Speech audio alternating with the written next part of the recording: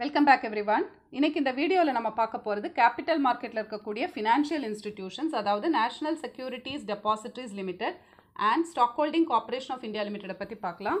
அது போக வந்து ஃபாரின் எக்ஸ்சேஞ்ச் மார்க்கெட்டையும் கமாடிட்டி மார்க்கெட்ஸை பற்றியும் ப்ரீஃப் எக்ஸ்ப்ளனேஷன் கொடுத்துருக்கேன். கேபிட்டல் மார்க்கெட்டில் இருக்கிற மற்ற ஃபினான்ஷியல் இன்ஸ்டிடியூஷன்ஸை பற்றி இதுக்கு முன்னாடி வந்திருந்த வீடியோவில் நம்ம பார்த்துருந்தோம். அதோட லிங்க் வந்து இந்த வீடியோவுக்கு கீழே வர டிஸ்கிரிப்ஷன் பாட்டில் கொடுத்துருக்கேன். அந்த வீடியோஸ் பார்க்காதவங்க இந்த லிங்கை கிளிக் பண்ணி பார்த்துக்கலாம். ஃபர்ஸ்ட் நம்ம பார்க்க போகிறது நேஷனல் செக்யூரிட்டிஸ் டெபாசிட்ரிஸ் லிமிடெட் இது எந்த வருஷம் ஆரம்பித்தாங்கன்னா இட் வாஸ் செட்டப் இந்த year nineteen ninety six in Mumbai டெபாசிட்ரிஸ்னால் என்னங்கிறத முதல்ல பார்த்துருவோம். இந்தியாவில் வந்து ரெண்டு டெபாசிட்ரிஸ் இருக்காங்க. ஒன்று வந்து என்எஸ்டிஎல் இன்னொன்று சிடிஎஸ்எல் என்எஸ்டிஎல் தான் இப்போ நம்ம பார்த்துட்டு இருந்தோம். நேஷனல் செக்யூரிட்டிஸ் டெபாசிட்ரிஸ் லிமிடெட் இன்னொன்று CDSL central depositories services India limited NSDL வந்து நேஷ்னல் ஸ்டாக் எக்ஸ்சேஞ்சோட டெபாசிட்ரி சிடிஎஸ்எல் வந்து பாம்பே ஸ்டாக் எக்ஸ்சேஞ்சோட டெபாசிட்டரி. இப்போ டெபாசிட்ரினா என்ன?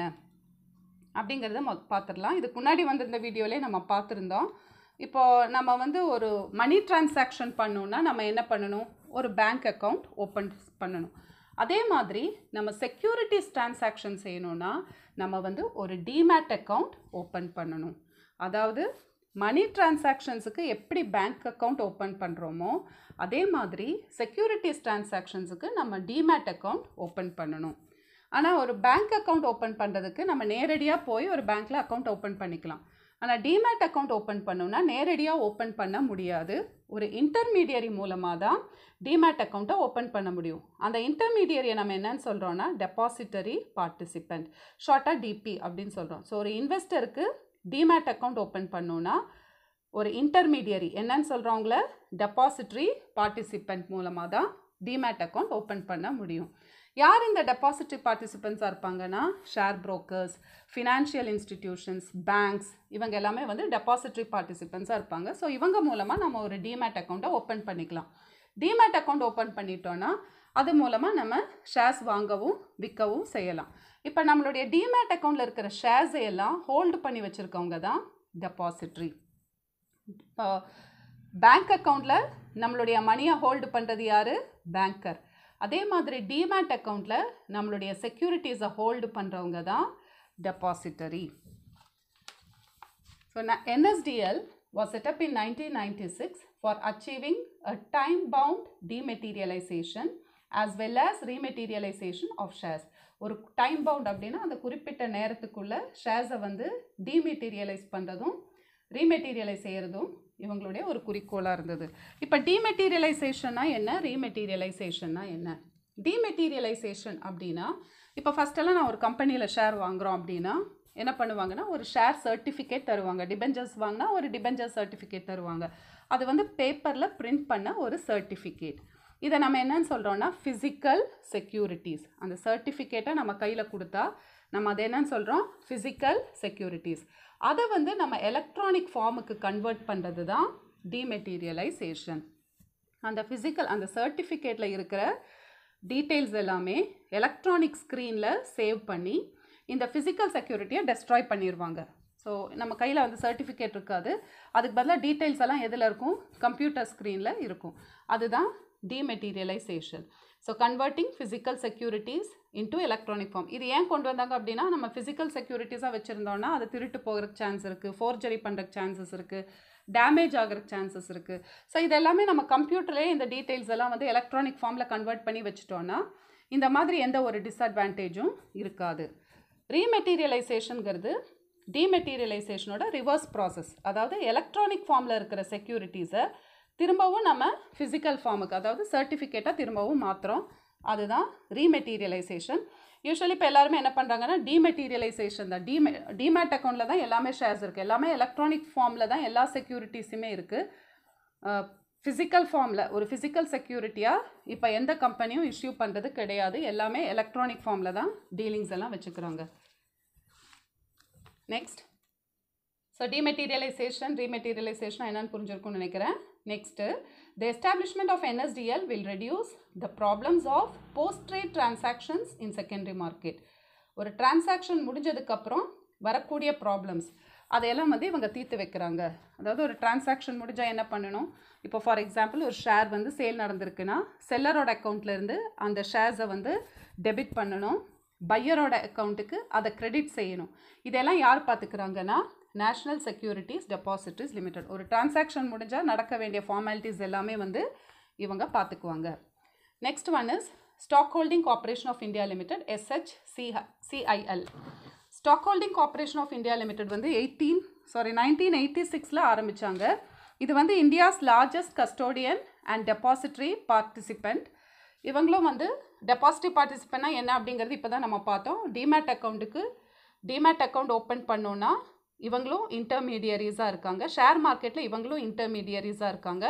அது போக வந்து இவங்க கஸ்டோடியன் சர்வீசஸும் பண்ணுறாங்க கஸ்டோடியன் சர்வீஸ் என்னங்கிறது இப்போ நம்ம பார்த்தலாம். இந்த சென்டென்ஸில் வரும் பாருங்கள் stock holding corporation of India limited SHCIL aims at serving as a central securities depository இந்த சென்ட்ரல் செக்யூரிட்டிஸ் டெபாசிட்ரி தான் நம்ம என்னன்னு சொல்கிறோன்னா கஸ்டோடியன் கஸ்டோடியன் அப்படின்னா அவங்களுடைய கிளையன்ட் சார்பாக அந்த கிளையன்ஸோட செக்யூரிட்டிஸை இவங்க வந்து ஹோல்டு பண்ணி வச்சுருக்காங்க. அவங்களுடைய கிளையன்ஸ் அதாவது புரோக்கர்ஸ் ஃபினான்ஷியல் இன்ஸ்டிடியூஷன்ஸ் இவங்களோட எல்லாம் சார்பாக அவங்களோட செக்யூரிட்டிஸை வந்து இந்த எஸ்ஹெச்சிஐஎல் எஸ்ஹெச்சிஐஎல் ஹோல்டு பண்ணி வச்சுக்குவாங்க. அப்புறம் கிளையன்ஸ் என்ன இன்ஸ்ட்ரக்ஷன்ஸ் கொடுக்குறாங்களோ அதுக்கேற்ற மாதிரி அந்த செக்யூரிட்டிஸை வாங்கவோ விற்கவோ செய்கிறாங்க so according to the instructions of the clients they trade in those they do transactions in those securities அதுதான் கஸ்டோடியன் அப்படிங்கிறோம். சென்ட்ரல் செக்யூரிட்டிஸ் டெபாசிட்ரி கிளையன்ஸோட சென்ட்ரல் செக்யூரிட்டிஸ் டெபாசிட்ரியாக இருக்காங்க. அதாவது கிளையன்ஸோட செக்யூரிட்டிஸை ஹோல்டு பண்ணி அவங்க கொடுக்குற இன்ஸ்ட்ரக்ஷன்ஸுக்கு ஏற்ற மாதிரி அதில் டிரான்சாக்ஷன்ஸை நடத்துகிறாங்க So, in respect of transactions on stock exchange, the corporation also takes up the administration of clearing functions at a national level. அது போக வந்து கிளியரிங் ஃபங்க்ஷன்ஸையும் இவங்க வந்து பார்த்துக்கிறாங்க. கிளியரிங் ஃபங்க்ஷன்ஸ் என்ன அப்படிங்கிறது வந்து கிளியரிங் ஹவுசஸ்னால் என்னங்கிறது நம்ம இதுக்கு முன்னாடி வந்திருந்த வீடியோவில் ரொம்ப டீட்டெயிலாக பார்த்துருந்தோம். அது தெரியாதவங்க அந்த வீடியோ கிளிக் பண்ணி பார்த்துக்கோங்க. இதுக்கு பின்னாடி இந்த வீடியோ கீழே அந்த லிங்க்கை கொடுத்துருக்கேன். நெக்ஸ்ட் வந்து foreign exchange market foreign exchange மார்க்கெட்டுங்கிறது நம்ம ஃபாரெக்ஸ் அப்படிங்கிறோம். இந்த ஃபாரின் எக்ஸ்சேஞ்சில் இருக்கிற முன்னாடி இருக்கிற லெட்டர்ஸ் எடுத்து ஃபாரெக்ஸ் அப்படின்னு சொல்கிறோம் இங்கே வந்து எல்லா நாடுகளோடையும் கரன்சிஸ் ட்ரேட் பண்ணுற இடம் தான் foreign exchange market buying selling exchange of currencies எல்லாம் நடக்கிற இடம் தான் ஃபாரின் எக்ஸ்சேஞ்ச் மார்க்கெட் உலகத்திலே வந்து மிகப்பெரிய ஒரு மார்க்கெட் தான் இந்த forex the foreign exchange market promotes the foreign exchange trading இங்கே வந்து ஃபாரின் எக்ஸ்சேஞ்ச் ட்ரேட் பண்ணுறாங்க it is the largest most liquid market இந்த வேர்ல்டு உலகத்திலேயே மிகப்பெரிய அதே சமயம் ஈஸியாக நம்ம எப்போ வேணால் அதை நம்ம போட்டிருக்கிற பணத்தை திருப்பி எடுத்துடலாம். So it is the largest most liquid market in the world with an average traded value of more than five trillion dollars per day ஒரு நாளைக்கு வந்து எவ்வளோ ரூபாய்க்கு டிரான்சாக்ஷன் நடக்குதுன்னு பாருங்கள் ஒரே நாளைக்கே வந்து ஃபைவ் ட்ரில்லியன் டாலர்ஸ்க்கு இங்கே வந்து டிரான்சாக்ஷன்ஸ் நடக்குது. It includes all the currencies in the world and any individual company or country can participate in it இங்கே வந்து எல்லா நாடுகளுடைய கரன்சிஸையும் ட்ரேட் பண்ணுறாங்க ஸோ எந்த ஒரு இண்டிவிஜுவலோ கம்பெனியோ இல்லை கண்ட்ரியோ வந்து இந்த ஃபாரின் எக்ஸ்சேஞ்ச் மார்க்கெட்டில் ட்ரேட் பண்ணிக்கலாம். ஃபார் எக்ஸாம்பிள் இப்போ நான் யூஎஸ் போனோம் அப்படின்னு நினச்சேன்னா என் கையில் கொஞ்சம் டாலர்ஸ் வேணும். அப்போ நான் என்ன பண்ணிக்கலாம்? இந்த ஃபாரின் எக்ஸ்சேஞ்ச் மார்க்கெட்டில் போய் ஃபாரின் எக்ஸ்சேஞ்சில் போய் என் கையில் இருக்கிற ருப்பீஸை வந்து நான் யூஎஸ் டாலர்ஸாக கன்வெர்ட் பண்ணிக்கலாம். ஸோ அதுக்கு வந்து இந்த ஃபாரின் எக்ஸ்சேஞ்ச் யூஸ்ஃபுல்லாக இருக்குது அதே மாதிரி நான் வந்து கரன்சிஸ் வாங்கி விற்கவும் செய்யலாம். அது மூலமாக வந்து நான் ப்ராஃபிட்டை ஏர்ன் பண்ணலாம். இதுக்கு நான் ஒரு எக்ஸாம்பிள் கொடுக்குறேன் பாருங்கள் இப்போ ஃபார் எக்ஸாம்பிள் ஒரு டாலரோட ரேட் செவன்ட்டி ஃபைவ் ருபீஸ் இது ஒரு எக்ஸாம்பிளுக்கு தான் சொல்கிறேன் செவன்ட்டி ஃபைவ் பாயிண்ட் சம்திங் இன்னைக்கு ரேட் உங்களுக்கு ஈஸியாக புரிஞ்சுக்கிறதுக்காக அதை ரவுண்ட் பண்ணிக்கிறேன். ஒரு டாலரோட ரேட் வந்து செவன்ட்டி ஃபைவ் ருபீஸ் ஸோ நான் இன்றைக்கி போய் ஃபாரின் எக்ஸ்சேஞ்ச் மார்க்கெட்டில் ஹண்ட்ரட் டாலர்ஸ் வாங்குறேன். ஸோ ஹண்ட்ரட் டாலர்ஸ் வாங்குறப்ப நான் எவ்வளோ ருபீஸ் கொடுக்கணும்? Seven thousand five hundred rupees pay பண்ணால் எனக்கு ஹண்ட்ரட் டாலர்ஸ் கிடைக்கும்.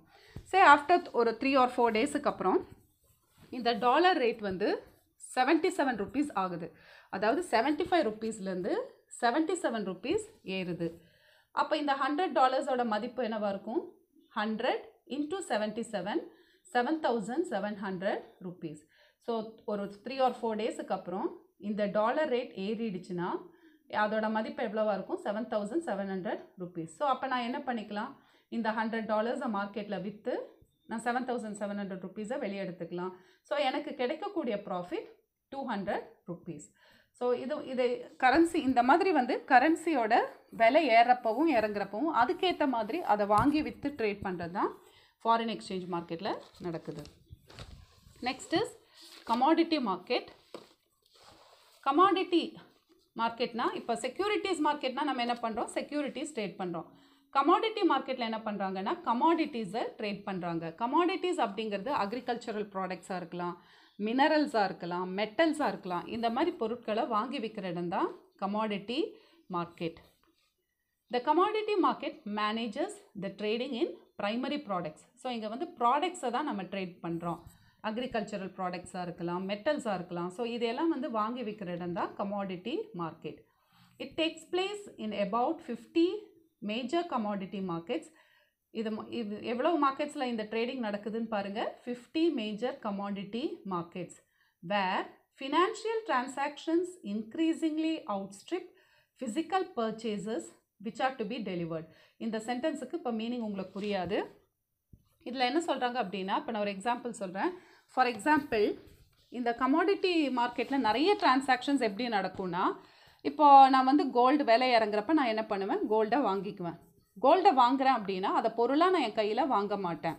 மோஸ்ட் ஆஃப் த டிரான்சாக்ஷன்ஸ் இங்கே இப்படி தான் நடக்கும். ரொம்ப ரேராக தான் பொருளாக கையில் வாங்குவாங்க.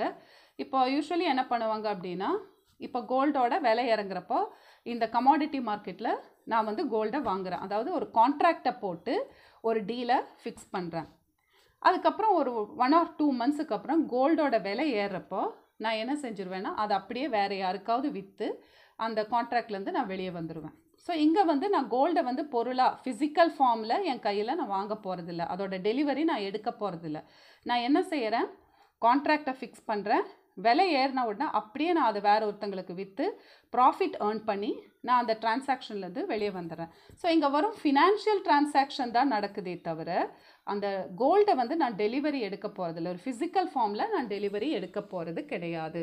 அதுதான் என்னன்னு கொடுத்துருக்காங்க. ஃபினான்ஷியல் டிரான்சாக்ஷன்ஸ் இன்க்ரீசிங்லி அவுட்ஸ்ட்ரிப் அவுட்ஸ்ட்ரிப்னா ஓவர்டேக் பண்ணுறது ஸோ ஃபினான்ஷியல் டிரான்சாக்ஷன்ஸ் எதை ஓவர்டேக் பண்ணுதுன்னா physical purchases which are to be delivered so physically இங்கே வந்து அந்த பொருளை வாங்குறதை விட லாபத்துக்காக அந்த பொருளை வாங்கி அதை டெலிவரி எடுக்காமல் அப்படியே வேற யாருக்காவது வித்துறாங்க. ஸோ அதுதான் அதிகமாக இருக்குது ஃபிசிக்கல் டிரான்சாக்ஷன்ஸ் தான் ஃபினான்ஷியல் டிரான்சாக்ஷன்ஸ் தான் ஃபிசிக்கல் பர்ச்சேசஸை விட அதிகமாக இருக்குது அப்படின்னு சொல்கிறாங்க ஃபினான்ஷியல் ட்ரான்சா இதுக்கு மீனிங் புரிஞ்சிருச்சு இல்லையா? அதாவது இப்போ நான் கோல்டு விலை கம்மியாக இருக்கிறப்ப வாங்குகிறேன் கான்ட்ராக்ட் போடுறேன் வாங்குறது கிடையாது. கான்ட்ராக்ட் போடுறேன் விலை ஏறின உடனே அதை அப்படியே வேற யாருக்காவது வித்துறேன் ஸோ இங்கே வந்து நான் கோல்டை வந்து பொருளாக என் கையில் வாங்குறது கிடையாது. ஸோ ஃபிசிக்கல் பர்ச்சேஸ் கம்மி தான் அதிகமாக என்ன நடக்குது? இந்த மாதிரி மார்க்கெட்ஸ்லனா financial transactions commodities are commonly classified in two subgroups hard commodities soft soft commodities so ரெண்டு விதமாக கிளாஸிஃபை பண்ணுறோம் ஒன்று ஹார்ட் இன்னொன்று சாஃப்ட் ஹார்ட் கமாடிட்டிஸ் என்னென்னா raw materials typically mined such as gold oil rubber iron ore extra இதெல்லாம் வந்து hard commodities soft commodities trade பண்ணுறது என்னெல்லாம்னா agricultural primary products such as wheat cotton coffee sugar இதையும் வந்து அங்கே ட்ரேட் பண்ணுறாங்க so commodity மார்க்கெட்னா என்னன்னு புரிஞ்சிருக்கும்னு நினைக்கிறேன். இந்த வீடியோவில் வர கண்டென்ட் வந்து புக்கில் எந்த பேஜில் இருக்குது அப்படிங்கிறது டிஸ்கிரிப்ஷன் பார்ட்டில் கொடுத்துருக்கேன். தேங்க்யூ